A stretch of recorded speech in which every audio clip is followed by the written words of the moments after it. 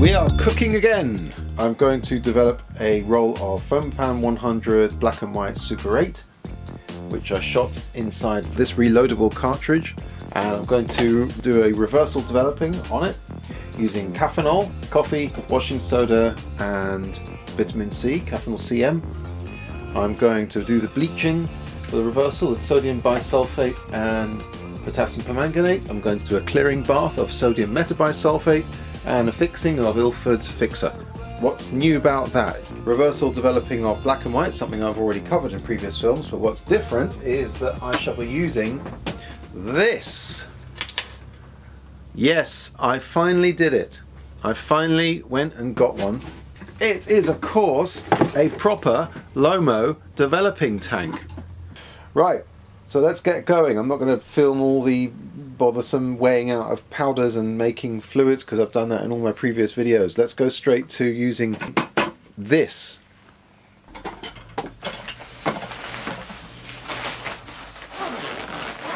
When you've opened up the tank inside the changing bag, you'll find this, or rather you'll feel this because you won't be able to see it. But everything I'm going to show you now is taking place in complete darkness in the changing bag. So everything you see me do, you're going to have to do by touch. So this thing is made of uh, three parts. This is the spindle, which screws the two plates together, and these are the two plates. Now this particular model takes 8mm or 16mm. If you are developing 16mm film, see there's this collar here, turn it the other way up and that collar a, becomes a spacer and that gives you a 16mm wide spiral. Uh, if you turn it over, 8mm, simple. So inside the bag, make sure the collar's the right way up if you're doing Super 8. Take this bit off, take this bit off, you're left with this now it starts to get tricky. This is what you have to load your film into in order for it to be uh, properly spaced and uh, sitting in these grooves. This is in fact uh, a spiral. Firstly, you'll have to take your film out of the cartridge that you shot it in and put it into a reel. This is very important. This is an unmissable step. Uh, once it's in a reel like this, it's going to be a lot easier to load onto the spiral. Now, if you shot using one of these, Congratulations, you are up to some uh, next level shit. Just pop the thing open, it's a reloadable cartridge, and take out the spool and wind it into, into this, inside the bag of course. If you shot on a disposable cartridge Super 8, you will have to tease the film out and wind it onto the reel as you do so. So you've got your undeveloped exposed film here in your, uh, in your reel. And here's what you want to do. The way this thing is designed is that there's a curved wall here and a system of little uh, uh, slots and catches here. And if you know how, you can uh, anchor the end of your film in the middle, in the center here. This is very important. You make a kink. You feel for that, for that curved wall there. Keep that on the right hand side. And where it, it ends on the left hand side, there's a way in for the film you pass it around this bit here and the kink slots into this side here so that's how it goes let me pull this up a bit so it's come in around this side gone around this kind of V shape into this little chamber here and that's where your kink is up there and it bends round to here and this way it'll withstand a good few tugs on the end. Uh, before that happens, and that does happen, you're just going to have to suck it. Once you've got this night, nightmare assembly done, you kink this bit back here and start feeling for the edge for this curved wall. This is where, where I realize what the curved wall some is for. Some thought has been put into this, but get the get the um, film laid against this curved wall on the outside and turn it round slowly as you do. Now when it comes off the curved wall, it's in pole position to enter the spiral, okay? If you ever lose track, just feel for the curved wall and let it come off the curved wall straight into the groove and it'll stay in the groove. Now at this point you're going to want to put the top the platter on. Um, you might even want to put it on earlier because once it's in the groove it can pop out of the groove very very quickly. So when it comes to the edge of the curved wall try and hold that in place. Get the top platter. Remember which which whether you're doing it Super 8 or 16 mil. And this might be the most important thing of all. This trailing bit of film, this is what's about to go onto the spiral, needs to be at an angle. The smooth side of the film needs to be towards you and the holes need to be leaning back away from you. And it's at about a 45 degree angle I'm holding it, although you can do it even flatter. And when it's like this, it will go around the spiral. This is where things often go really wrong. You, you get the top platter, you feel for Of course, I can see what I'm doing, so it's easier. But if you feel around without that popping out of the center, that, that happens. Oh, I'm so mad when it happens. So you put that on top, find, find your spindle. If you line it up right, the spindle should just go straight through and screw right in there. Now, here's the magic moment where you'll know if, if, if things are going well or not. The uh, point of this thing is to spin. While it spins, as long as this angle is, is, is flat, like away from you, like this. But check this out. Oh, oh, oh, see, fucked up. That happens. If it pops out like that, of course you don't know you fucked up until you've gone round a few more times and then you're really in trouble.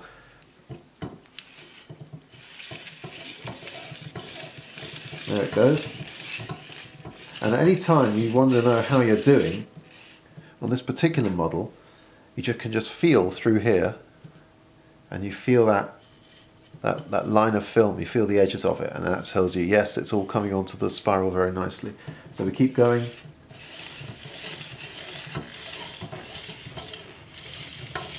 And on it goes. Oops, yeah, okay. Well, you get the idea.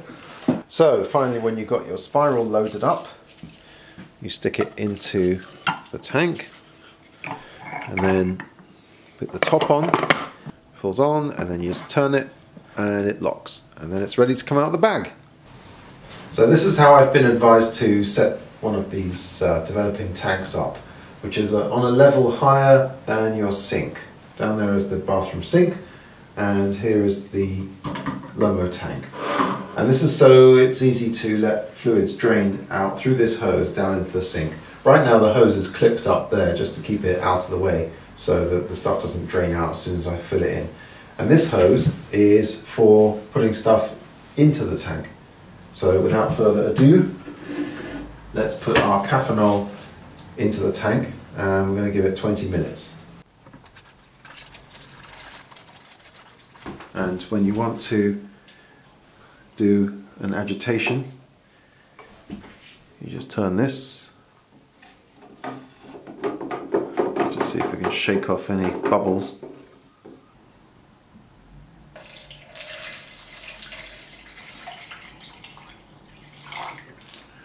Right so it's been 20 minutes in there. Give it one last agitation and all I do is unclip the out hose and put it down into the bucket. And simple as that, all the uh, Caffenol drains straight into the bucket for reuse. And uh, it did a fart.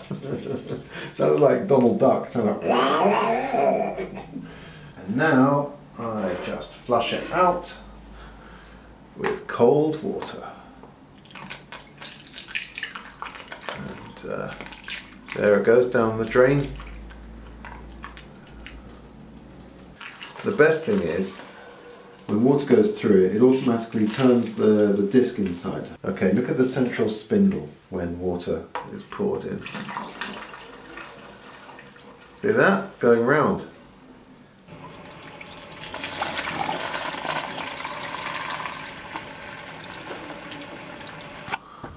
Uh, okay, we've had a very small um, flood here in the bathroom. I poured water into there. I should have just kept pouring it into through the funnel, the top hose.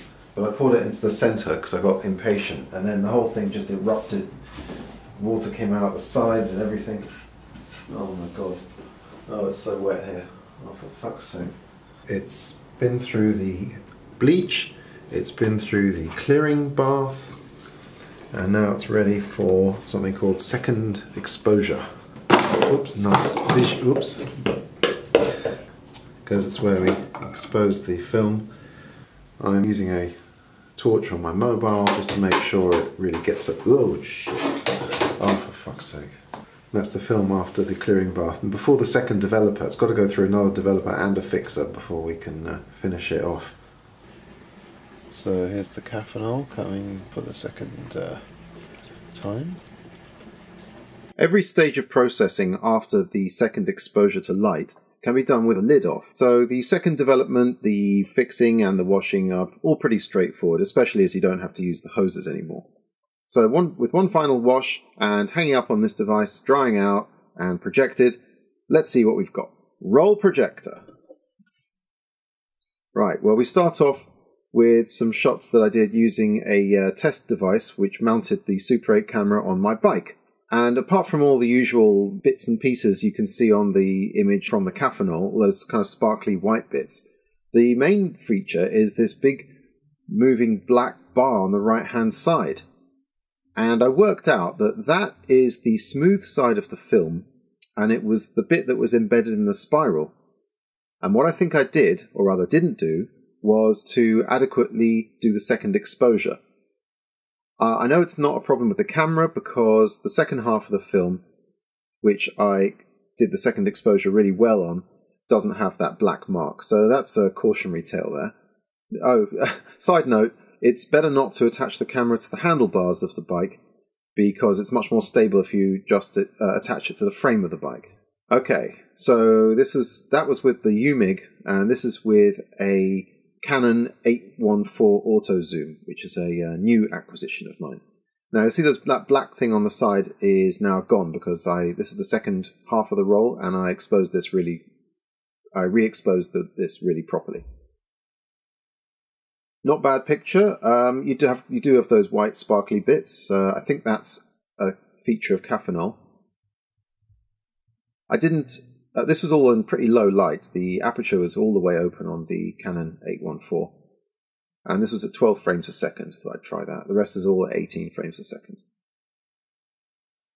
Uh, daylight the next day with lots of light, it, it, all comes out looking a bit better. The film definitely sustained less damage in the Lomo spiral than it did when I stuffed it all in a ball into the 35mm tanks.